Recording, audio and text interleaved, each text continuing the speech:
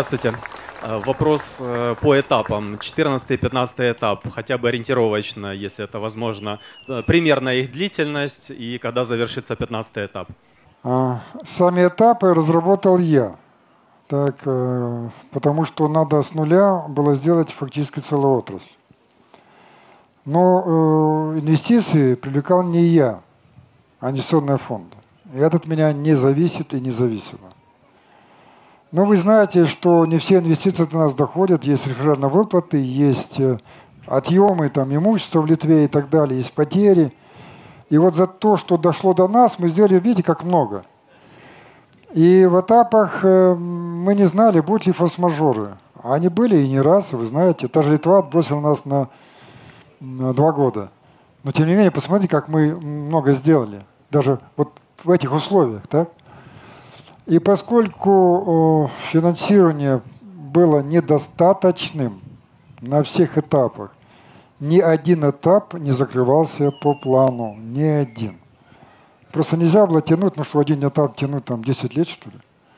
Поэтому все этапы были закрыты с недо, недофинансированием, что вы знали.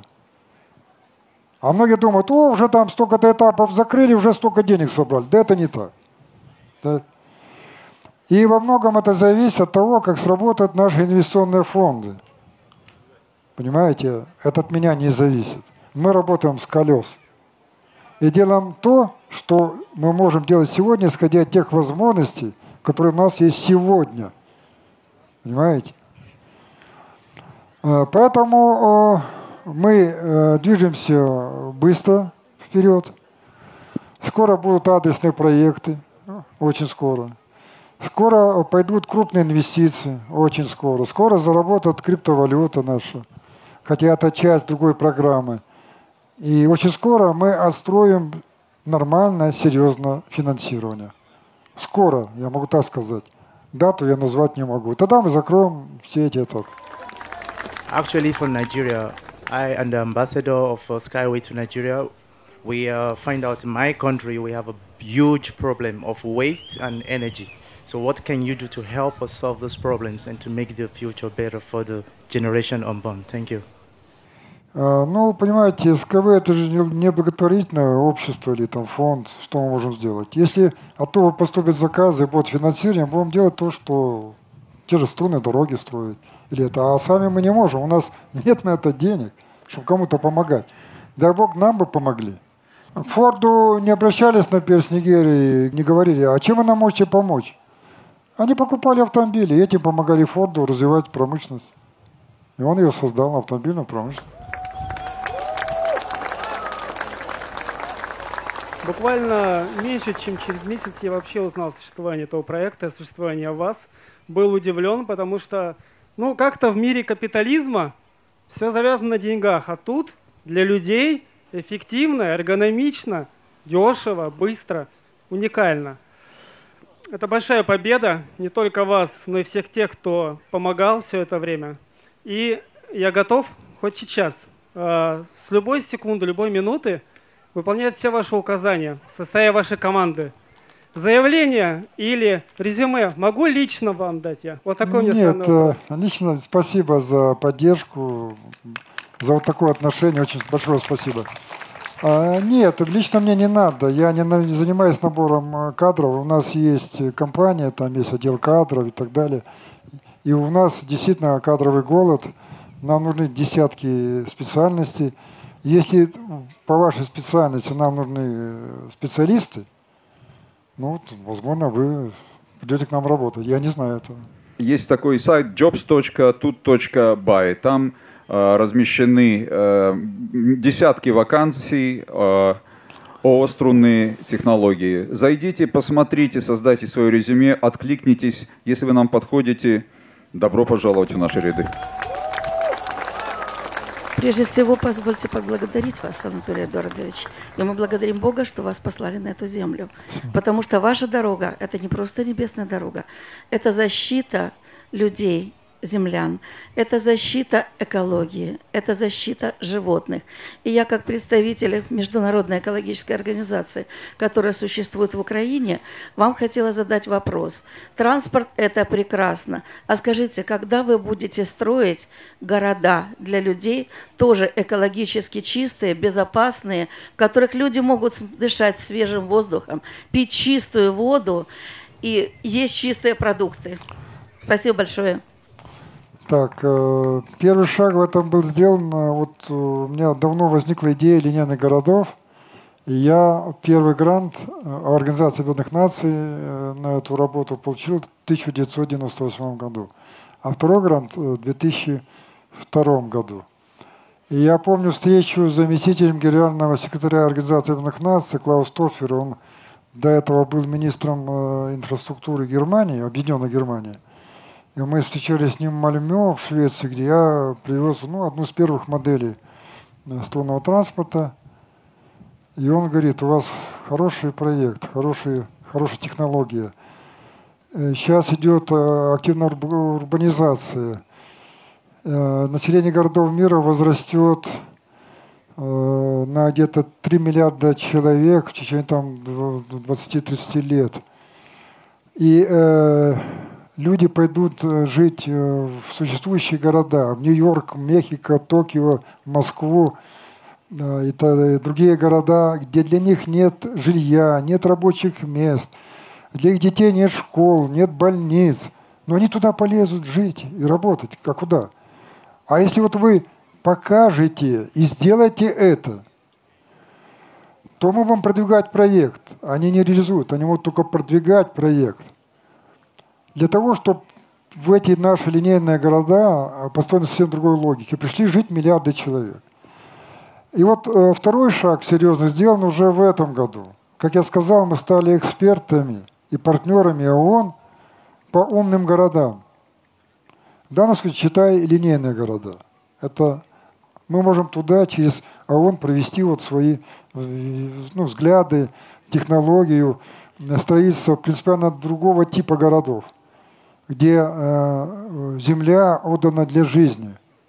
Растениям, цветам, садам, животным, да, людям.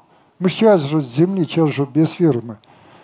И надо ходить по траве, а не по асфальту, и босиком лучше всего, да? Чтобы дети бегали, не боялись, и родители не боялись, что их задает автомобиль. Потому что транспорт на втором уровне. И он безопасный, экологически чистый. Поэтому в следующем году уже будут серьезные подвижки в этом отношении, и у нас уже появится скоро трибуна, в том числе трибуна Организации Объединенных Наций для продвижения вот этого направления. Вопрос. Вы планируете построить, ну компания планирует построить тысячи километров, а то и сто тысяч километров, э, миллионы километров дорог. Понятное дело, что человеческими ресурсами просто человек не сможет это физически сделать. А, это должна быть какая-то роботосистема. И а, на одном из вебинаров проскочила информация, что у вас существует какая-то идея, зарисовка или уже может какой-то проект имеется э, ходячего робота. Что именно у вас сейчас есть, э, помимо просто идеи?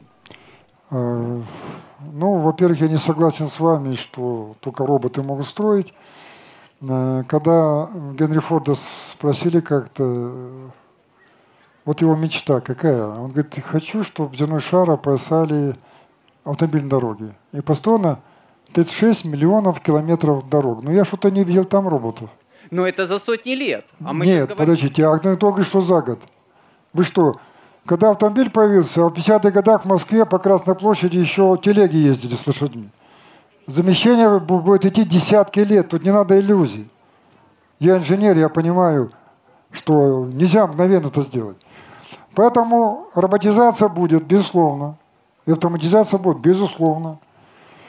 И эм, э, первые, э, не то что наметки, уже серьезные проработки, вы можете найти в той же монографии, о которой я говорил где есть даже иллюстрации, когда робот-завод, как шагающая машина, идет, переступая через реки, проходя болото, у него длинное, и после себя оставляет готовую дорогу. Вот, Такой но... проект есть, и он есть в моей монографии. Но А мы не можем создавать этот робот сегодня. Чтобы создать, надо минимум 100 миллионов долларов. Ну, создадим робот, вот это ничего не будем делать, кому он нужен. И что он будет строить? Это понятно. Когда? Да. Поэтому сейчас мы не можем ничего продемонстрировать. Но потом продемонстрируем, поверьте. И эти технологии уже и дальше продвинулись. У нас уже есть дрон. Это робот. А для чего дрон? Он, думаете, так просто появился, что ли? А как в горах строить? Как туда опору завести? А как, допустим, струну через реку перетянуть? И не только для этого. Военный вертолет. Летчик застрахован на 5 миллионов долларов. Второй летчик тоже на 5 миллионов долларов. Для того, чтобы обучить летчика, надо 5 миллионов долларов. Еще страховка. Потом сбили самолет с летчиками или вертолет. Знаете, какие потери, да? А это железяка сбили, так это, да? Потому что он робот. Поэтому роботы мы делаем не только то, что чисто касается Skyway, но и все сопутствующие э, технологии, отрасли, мы тоже там работаем. Добрый день. Я с Екатеринбурга, с Урала. Я вот хотел узнать, когда начнется производство уже в промышленных масштабах мотор-колес, которые разработали? Мотор-колесо, как э, самостоятельный продукт, он имеет очень маленький рынок, на самом деле.